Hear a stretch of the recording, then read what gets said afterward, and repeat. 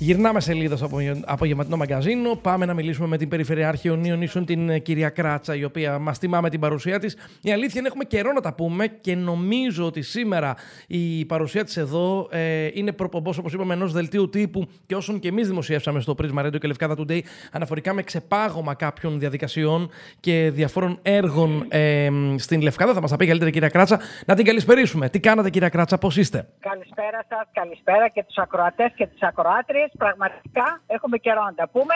Να ευχηθούμε καλό φθινόπωρο. Δεν είναι πολύ καλό καιρό το φθινόπωρο. Αισιόδοξο το μήνυμα αυτό που μας στέλνει ότι δεν θα έχουμε το βαρύ χειμώνα και όλες τις ανάγκες της θέρμανσης που απαιτεί. Σωστά. Ε, ας ελπίσουμε ότι θα έχουμε μια παρατεταμένη έτσι, καλή περίοδο στον καιρό και που συνδυάζεται και με παράταση τουριστική κίνηση. Ε, πρωτού ξεκινήσουμε τη συζήτηση, ε, επιτρέψτε μου σήμερα να αναφερθώ στο ότι είναι η παγκόσμια ημέρα κατά του καρκίνου του μαστού. Ε, είναι πραγματικά ολόκληρη η ανθρωπότητα με ένα μήνυμα.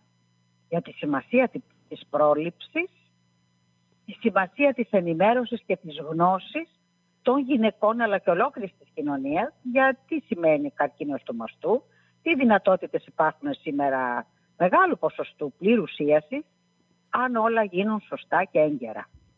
Λοιπόν, μοιράζομαι και εγώ μαζί με όλους τους συμπολίτες μας το μήνυμα αυτής της ημέρας και στέλνω και εγώ τη δική μου ευχή για μια συστηματική πρόληψη και για κουράγιο και δύναμη στις mm γυναίκες και στους άνδρες, γιατί και άνδρες βεβαίως. πάσχουν από βεβαίως, βεβαίως, βεβαίως. Στους ανθρώπους που πάσχουν ε, στέλνω και εγώ τις ευχές μου για καλή δύναμη και γρήγορη ίαση. Πριν μπούμε στην θεματολογία, κυρία Κράτσα, επειδή γνωρίζω ότι παρακολουθείτε τα πράγματα από κοντά, θα ήθελα, δεν είναι στην αρμοδιότητά σας, αλλά ως πολιτικός, ναι. θα ήθελα ένα σχόλιο αν παρακολουθείτε αυτές τις αντιδράσεις που προκαλούνται στο νησί αναφορικά με την επένδυση στο τουριστικό περίπτερο στο κάστρο. Δεν ξέρω αν γνωρίζετε ότι είναι μια ναι. διαγωνιστική διαδικασία ναι, σε εξέλιξη. Υπάρχει μια αντίδραση από την τοπική κοινωνία για το τι πάει να γίνει εκεί και υπάρχει ναι. ένας προβληματισμός. Έχετε επίγνωση ναι. της ε, πραγματικότητας, θέλετε να το σχολιάσετε, δεν είναι σε αρμοδιότητάς σας. Ναι, απλά... όχι, αλλή μόνο, δεν είναι σε αρμοδιότητάς αρμοδιότητά μας, οπωσδήποτε, γι' αυτό δεν έχουμε πάρει και θέση και γι' αυτό δεν μπορούμε να προτείνουμε και λύση. Σωστά. Αλλά φυσικά μπορώ να το σχολιάσω γιατί ένα θέμα που συνταράσσει την κοινωνία ε, μας απασχολεί οπωσδήποτε.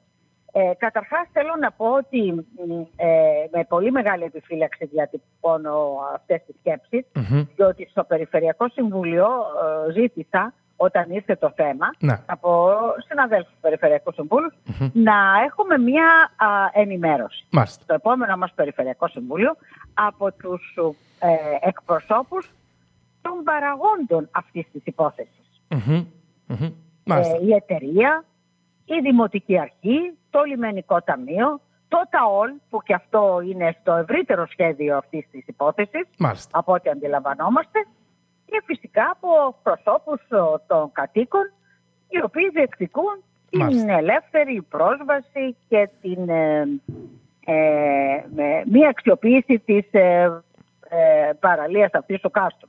Σημειώνω αυτό που λέτε ότι θα φέρατε και την εταιρεία, γιατί εμείς την εταιρεία τουλάχιστον στο Δημοτικό Συμβούλιο δεν την έχουμε ακούσει. Δηλαδή θέλω να πω ότι αν υπάρξει ναι. δημόσια τοποθέτηση, θα είναι η πρώτη φορά στο Περιφερειακό Συμβούλιο ναι. και για την ενημέρωση λοιπόν, δική μας.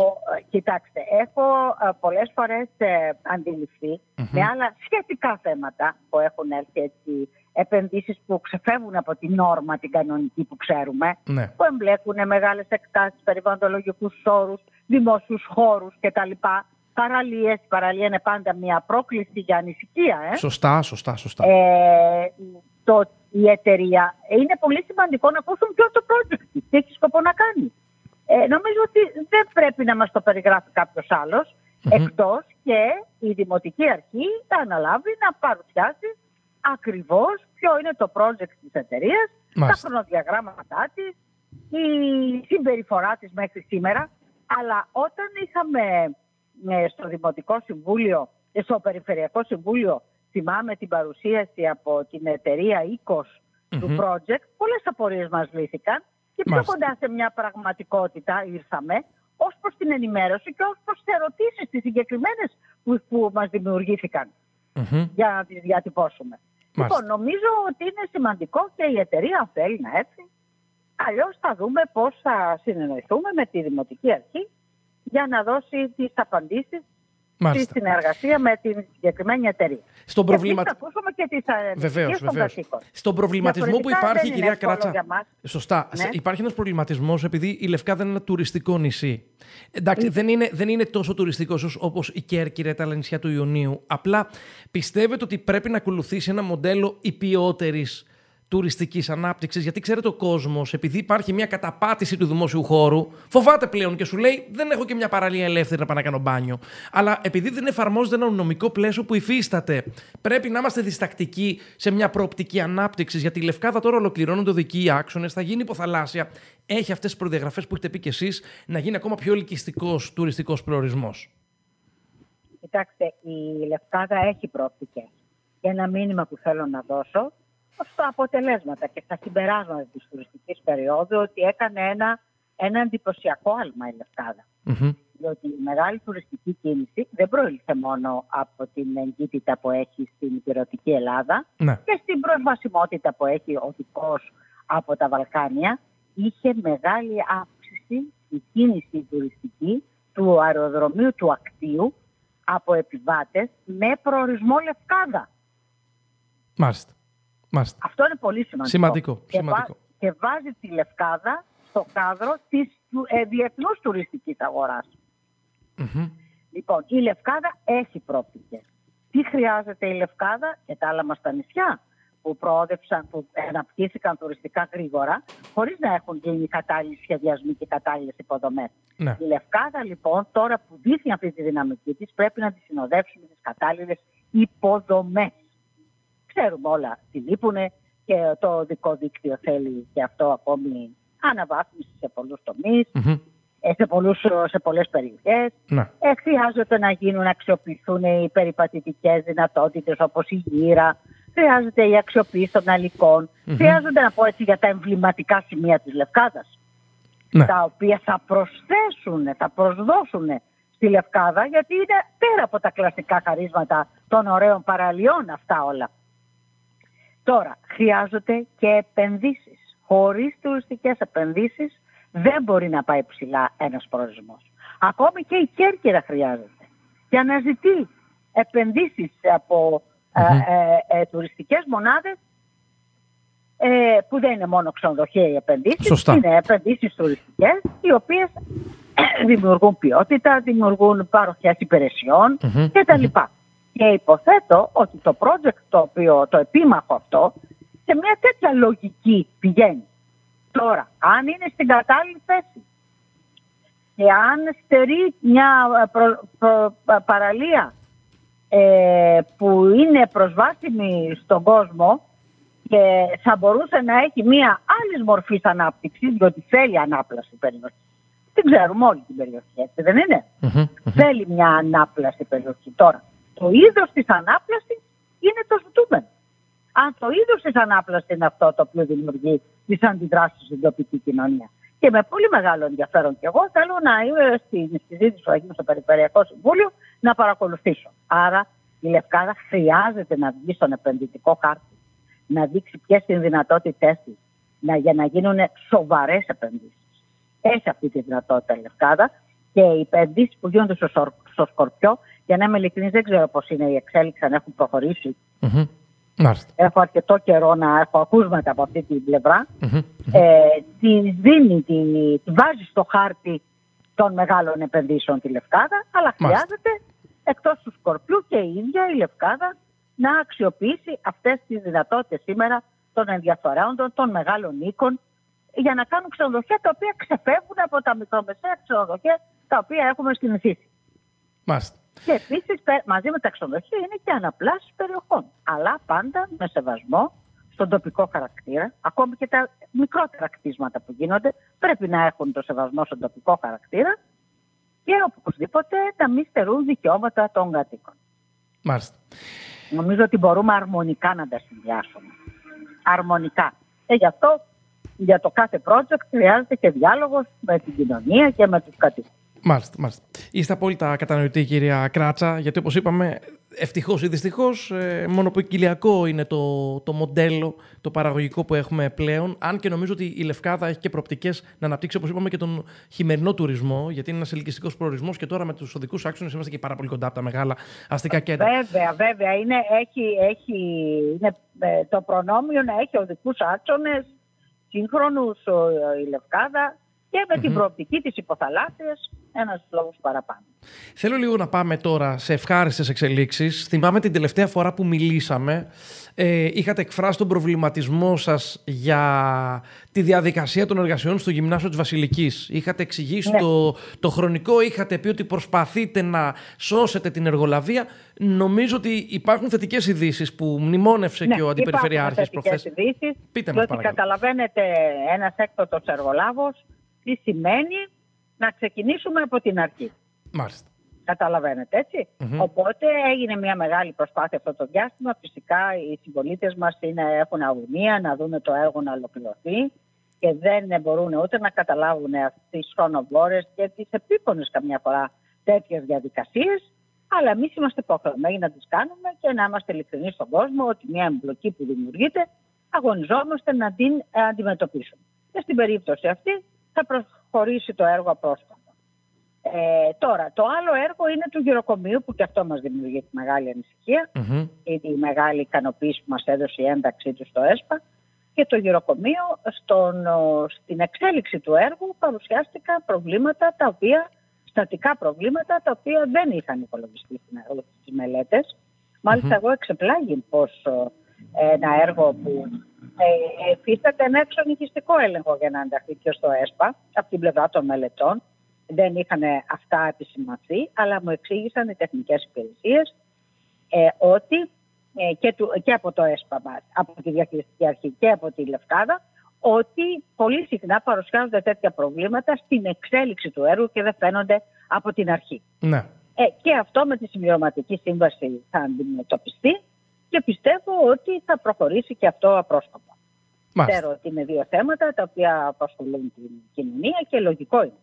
Mm-hmm, Αντιλαμβάνομαι τι θέλει να πείτε και βεβαίως ενημερώνει και η Περιφερειακή Ενότητα Λευκάδας γενικά με κάποιες δράσεις που κάνει, ασφαλτοστρώσεις ε, και υπάρχει ναι, και εξέλιξη αυτά νομίζω. Είναι μέσα, βέβαια, είναι μέσα στο πρόγραμμα και τα αντιπλημμυρικά.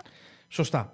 Και οι ασφαλτοστρώσεις, διότι η ανάπτυξη τουρισμού με επιβάρυνση του οδικού δικτύου ενό γενικά γυρασμένου οδικού δικτύου στα Ιόνια mm-hmm, ε, αλλού περισσότερο, αλλού λιγότερο, η ανάπτυξη τουριστική με τους όγκους και των λεωφορείων, των μεγάλων, χρειάζεται δρόμους και φυσικά και ασφάλεια των κατοίκων. Μάλιστα. Υπήρξε μια συζήτηση στο Περιφερειακό Συμβούλιο ε, τις προάλλες όπου, για, για τη στήριξη των νοσοκομείων, ε, κυρία Κράτσα. Και μάλιστα εσείς ε, αναφερθήκατε και με δελτίο τύπου για τις δράσεις που έχει κάνει η Περιφέρεια Ιωνίων Ίσων για να ναι, στηρίξει και το, νοσοκομείο Λευκάδας. Ναι, ναι. Και, και θα ήθελα λίγο να μας δώσετε το στίγμα σας και σε αυτό, γιατί αντιλαμβάνεσαι ότι ναι. οι δημόσιες δομές είναι σημείο αναφοράς πλέον μετά από μια δύσκολη περιπέτεια που, που υφιστάμεθα με την πανδημία, η οποία είναι ανάμεσά μας, μπορεί να την έχουμε ξεχάσει, υπάρχει όμως Ναι, και ακόμα. δεν έχει περάσει. Σωστά.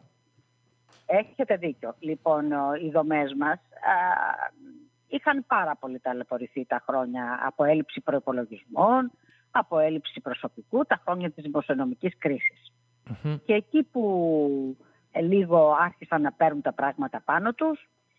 Ε, είδαμε, ε, έτσι η πανδημία που κάλεσε τα νοσοκομεία και το προσωπικό, έτσι, τα νοσοκομεία και οι δομές με τις δυνατότητες που διαθέτουν, του εξοπλισμού, του χώρου κτλ.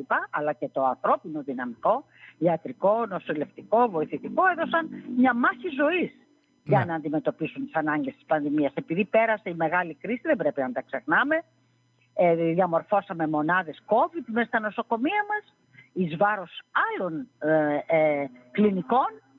Ε, φτιάξαμε εμβολιαστικές γραμμές μέσα στα νοσοκομεία μας εις βάρος άλλων παροχών υπηρεσιών και ε, τώρα βρισκόμαστε σε, στην κατάσταση που πρέπει να αντιμετωπίσουμε όλες τις ανάγκες σε προσωπικό όπου χρειάζονται για να λειτουργήσουν κανονικά. Πρώτον, θέλω να παρατηρήσω ότι δυστυχώς η χώρα μας στερείται ιατρικού προσωπικού. Ναι. Έφυγε πολλοί κόσμος με τα, τα, τα χρόνια της δημοσιονομικής κρίσης και η χώρα ολόκληρη στερείται. Θα σας πω χαρακτηριστικά στις Βρυξέλλες λέγαν πάντα ότι αν πάρεις ένα ταξιτζί, μην έχεις έννοια αν δεν ξέρεις γαλλικά, διότι ε, ο ταξιτζής ήταν Έλληνας. Ναι. Ήταν, ε, κυριαρχούσαν στο επάγγελμα.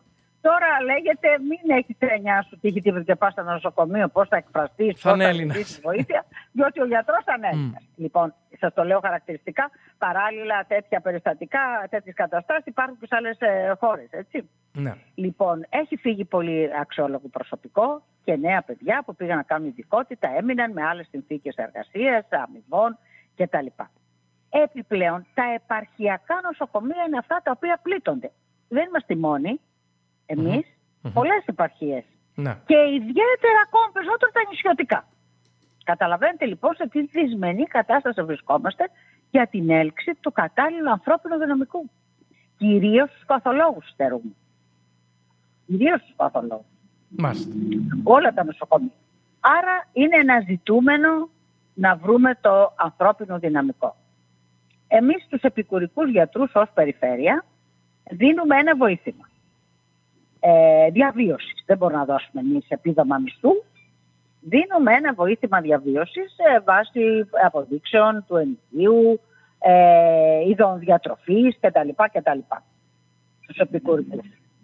Επίσης, ε, λόγω των εκτάκτων αναγκών και προσλήψεων για το COVID, εμείς διαθέτουμε 11 εκατομμύρια για τις προσλήψεις που κάνει το Υπουργείο. Δεν τις κάνουμε εμείς. Εντάξει, να το διευκρινίσουμε. Να. Διότι μου λέει κάποιος συμπολίτης μας, «Ε, τότε γιατί αφού έχετε 11 εκατομμύρια, γιατί δεν παίρνετε γιατρούς. Εμείς θα διαθέτουμε στο Υπουργείο, γιατί είναι δημόσιο το σύστημα υγείας και το Υπουργείο έχει την ευθύνη των προσλήψεων και της λειτουργίας των νοσοκομείων. Εμείς απλά διαθέτουμε από το ΕΣΠΑ αυτούς τους πόρους για να, γιατί είναι, είναι και ε, κάποια είναι για τον ΕΟΠΗ, κάποια είναι για τον ΕΚΑΒ. Και όταν λέω νοσοκομεία δεν εννοώ μόνο γιατρούς, εννοώ και το νοσηλευτικό και βοηθητικό προσωπικό που χρειάστηκε λόγω COVID. Ναι. Εμείς παραπάνω από αυτό δεν μπορούμε να κάνουμε. Ε, διότι καταλαβαίνετε ε, δεν έχουμε τη δυνατότητα να αλλοιώσουμε το, το μισολογικό σύστημα των ιατρών. Ναι, ναι, ναι. Αυτό έχει, πρέπει ο γιατρός άλλη κατηγορίας να παίρνει αυτός, αυτά τα χρήματα, άλλη κατηγορία αυτά και τα mm-hmm. Τι περιμένουμε και έχει αργήσει να έλθει. Περιμένουμε από το Υπουργείο και όχι μόνο από το σημερινό Υπουργό και από τον προηγούμενο Υπουργό ήταν ανοιχτό το ζήτημα, ειδικά κίνητρα, γενναία όμως πρέπει να είναι, ειδικά κίνητρα για να έρθουν γιατροί στα δικά μας α, νοσοκομεία. Μάλιστα. Μόνιμες λοιπόν. θέσεις γιατρών ζητούμε. Είναι ένα μεγάλο ζήτημα γιατί σας λέω δεν είναι μόνο τα αιώνια που αναζητούν και που πάσχουν από την έλλειψη. Αντιλαμβάνομαι Είμαστε αλληλέγγυοι στα αιτήματα των γιατρών, στα αιτήματα των διοικητών.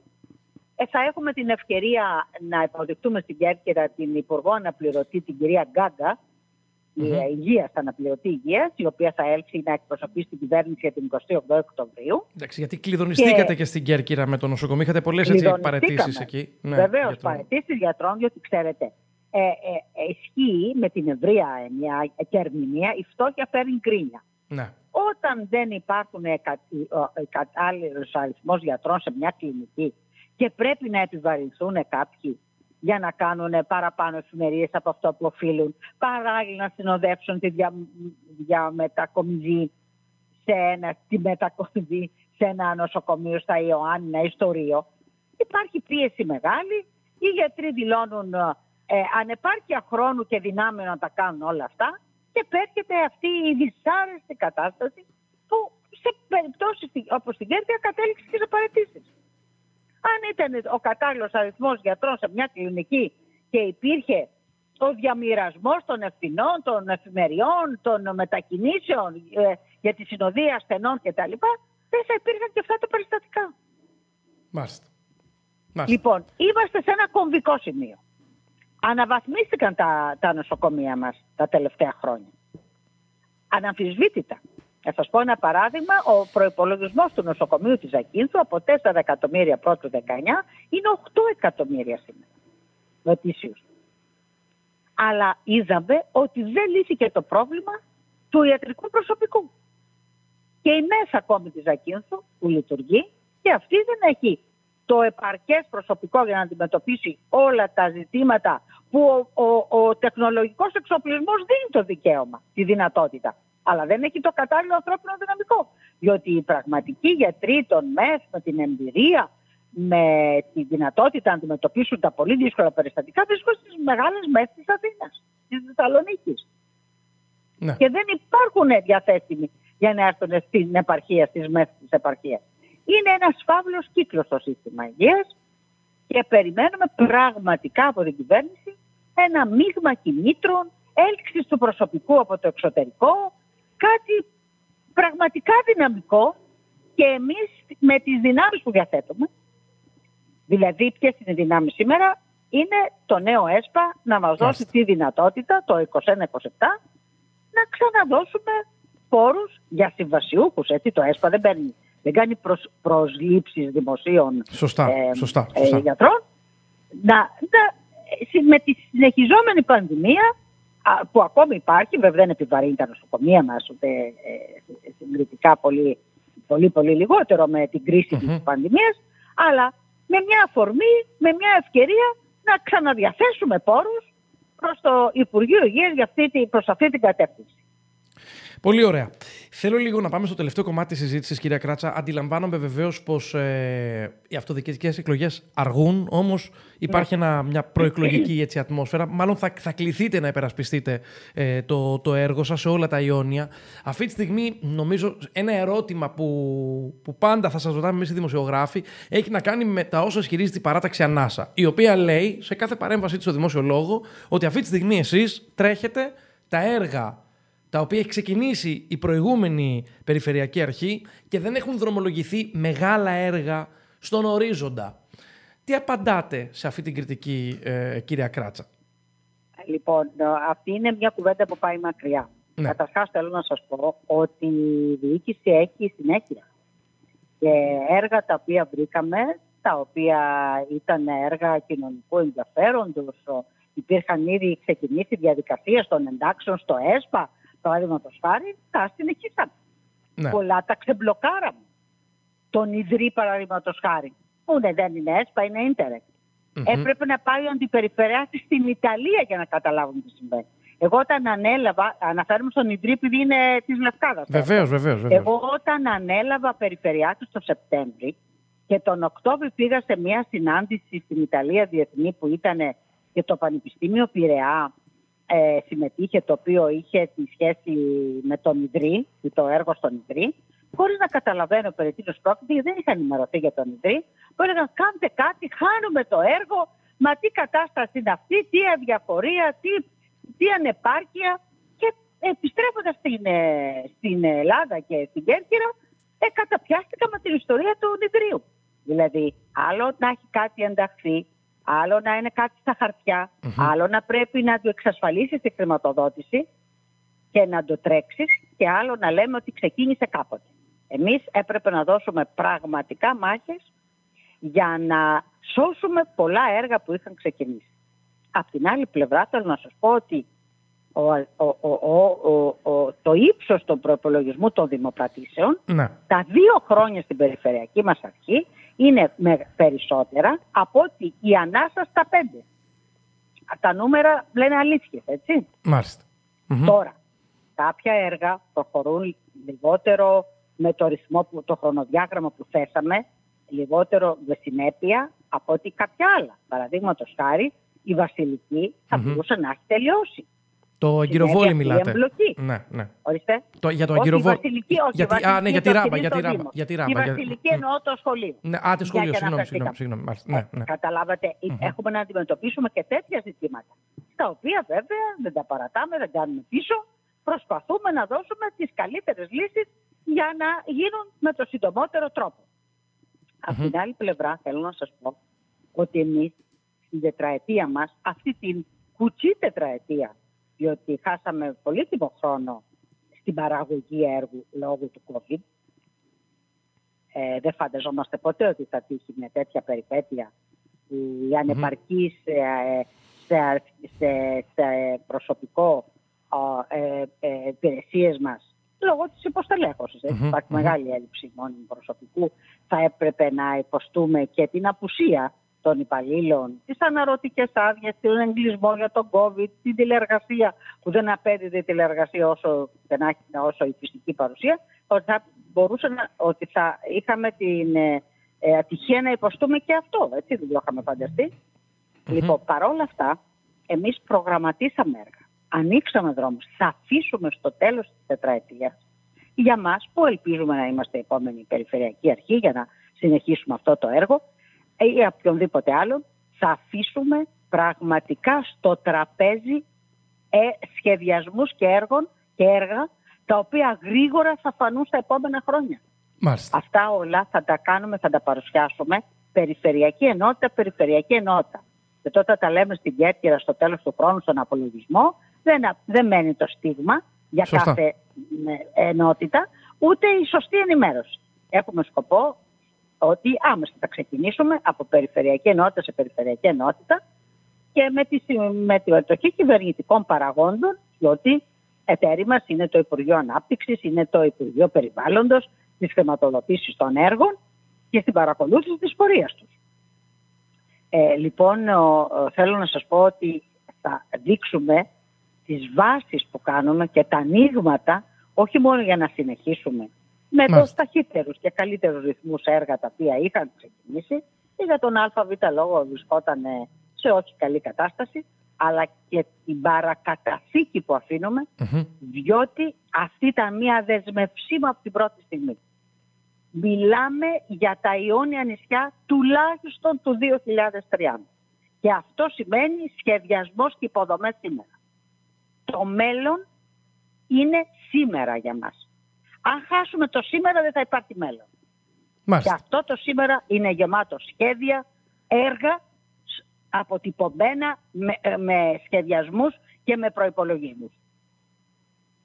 Κύριε Κράτσα, νομίζω ότι μας δώσατε έτσι την αφετηρία για το πώς ε, θα κινηθείτε κι εσείς και θα εξηγήσετε όλα αυτά τα οποία λέτε και για την παρακαταθήκη αλλά και για το τι έχετε κάνει κατά από τις ιδιαίτερες συνθήκες με το ενεργειακό κόστος να προβληματίζει, με, με, με όλες αυτές τις προκλήσει. Είναι κάτι που μας απασχολεί όλους. Ακόμη και τη λειτουργία των περιφερειακών ενωτήτων, βέβαια. Έτσι, και εμείς εμείς ένα νοικοκυριό είμαστε.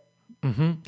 Κλείνοντας, επειδή πάρα πολλά έργα με αφορμή και μία ερώτηση που έγινε για το θέατρο, αν και νομίζω ότι ναι. υπήρξε ενημέρωση και από τον Δήμαρχο, άλλο ναι. ένα έργο το οποίο έχει μπλοκαριστεί. Ο κύριος Κτενά είπε ότι εμείς το χρηματοδοτούμε, δεν το τρέχουμε. Ε, Όμως είπε ότι σύμφωνα με ενημέρωση του Δημάρχου, ξε... αν δεν υπάρξουν κάποιες ενστάσεις, ξεμπλοκάρει γι' αυτό και τρέχει. Άρα λοιπόν υπάρχει συνεργασία γιατί χρηματοδοτεί η περιφέρεια έργα του Δήμου. Αλλή μόνο συνεργασία υπάρχει και mm-hmm. ξέρετε ότι καθιέρωσα εγώ δύο βασικά χαρακτηριστικά στη σχέση με τους Δήμους. Για πρωτη φορά.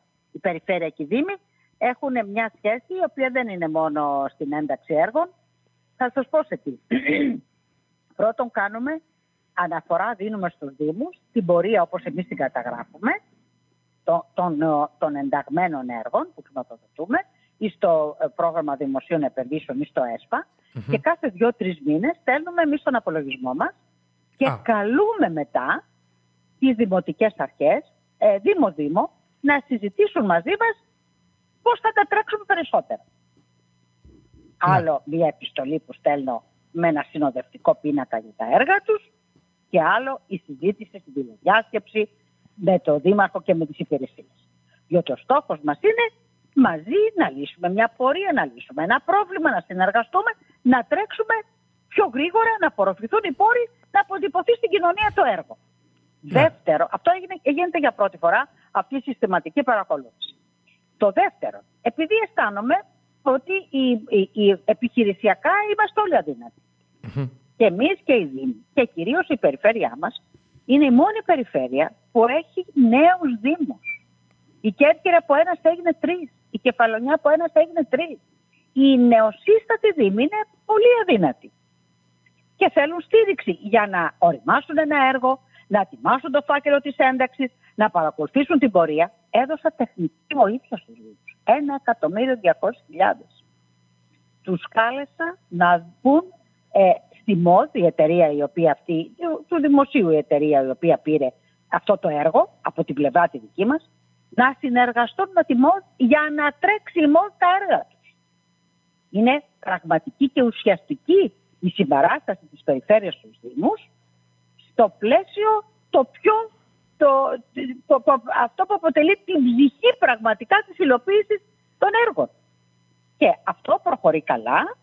Έδωσε την ευκαιρία κάποια πράγματα να στηριχτούν, κάποιες προσπάθειες να στηριχτούν και θα αποτυπωθεί και στον απολογισμό που θα κάνουμε για την πορεία του ΕΣΠΑ του 14-20 θα αποτυπωθεί αυτή η πρόοδος που επετέφθη με αυτό το σύστημα το οποίο, με το οποίο περιέβαλα τους Δήμους. Ευχαριστώ πάρα πολύ για την ευκαιρία που μου δώσατε κύριε Κονιάκη. Πάντα κάνουμε ενδιαφέρουσες συζητήσεις. Θέλω να ενημερώνει το κόσμος, να έχει τη δυνατότητα, γιατί εσείς, όπως είπαμε, είστε ο ανώτατος θεσμικός άρχοντας. Θέλουμε εδώ να μας αναπτύσσετε αυτά τα οποία θέτετε. Στην... Είμαι ένα, μια παθιασμένη επτανήσια πάνω Έτσι είναι, έτσι είναι. είναι χαρά... Προσπαθώ για το καλό των νησιών μας. Είναι χαρά όμως που σας έχουμε κάθε φορά. Ευχαριστώ πολύ, κύριε Να είστε καλά. Καλό βράδυ σε εσάς, του ακροατές και τις ακροάτριες. Γεια χαρά.